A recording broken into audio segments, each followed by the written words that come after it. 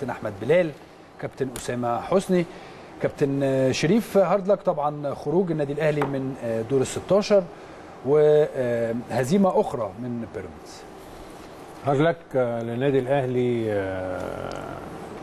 يعني شكلا كده الأهلي ما بتغلبش إلا بفعل فاعل. أيوه. واضح جدا في الملعب النهارده إن في فريق بيهاجم وفريق عايز يحرز أهداف.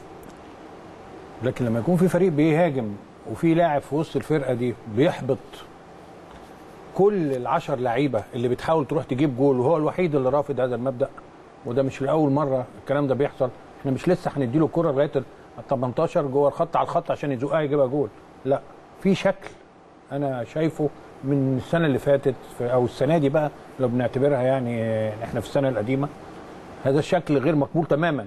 هذا اللاعب الحقيقة عشان كده دايما أنا أقول لك إيه أنا عايز ألعب باثنين فراوده آه عشان لازم يبقى لي اثنين فراوده في الراجل ده ما بتتكلم على مين يا كابتن؟ بتكلم على وليد أزارو يعني كل آه. المحطات وكل ده حتى آه عندنا يعني مشكلة جميع الناس بتتكلم على هذا. اللاعب حتى آه. المعلق وهو بيعلق بيقول لك هو بيعمل كده ليه يعني آه. شكل غريب جدا إضاعة الفرص مشكلة كبيرة لا ده مش المباراة دي بس آه. مش إضاعة الفرص آه ده شكل تناول التعامل مع الكرة شكل آه. سلبي بحت يعني حتى لو في كرة رايحة لزميل أو أي حاجة بيحاول يشترك محتاج فيها يجتهد شوية يا وليد ازار لا أنا ما كلمة يجتهد دي مش لا هو مجتهد وكل حاجة بس هو في حاجة هو مش عايز يلعب طبيعي. ده مش لاعب طبيعي في وسط الملعب ده لاعب محبط للفريق كله الحقيقة. وأنا لأول مرة يعني أبتدي أتكلم بالأسلوب ده ليه؟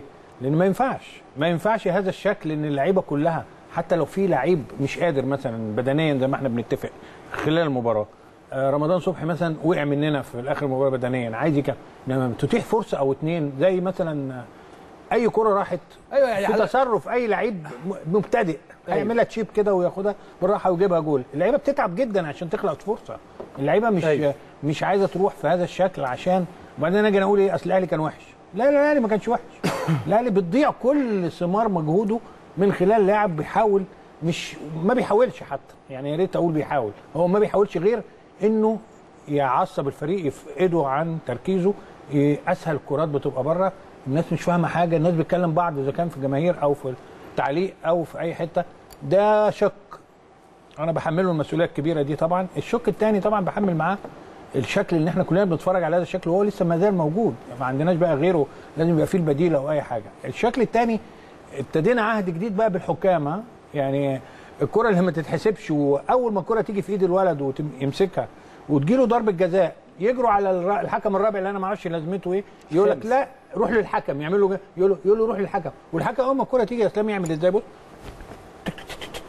أي كوره على النادي الأهلي تيت. يعني في إيه؟ الحقيقة عشان إحنا كمان ما عندناش